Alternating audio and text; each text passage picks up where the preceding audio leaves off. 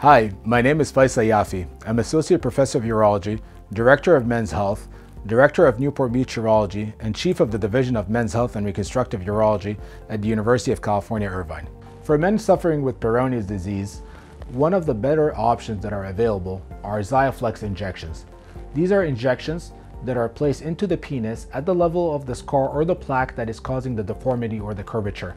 It's a total of eight injections that are offered over a period of four to six months and have been shown to offer enough improvement in 70% of patients and avoid them more invasive surgeries. The improvement in curvature has been noted to be about 40 to 50%, and here at UCI, we have been amongst the first to show that if a man has an indentation or what we call an hourglass deformity, XIAFLEX may improve their curvature or their indentation and their deformity in up to 80% of cases.